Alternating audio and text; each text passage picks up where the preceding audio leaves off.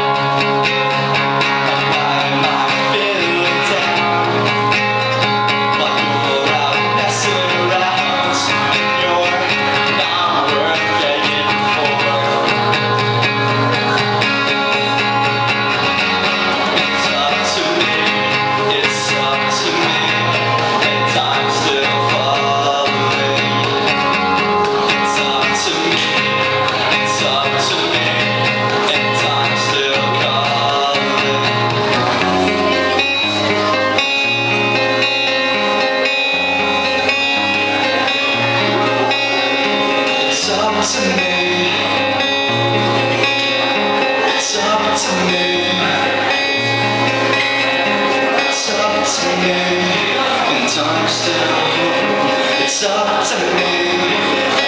To. It's up to me to let you.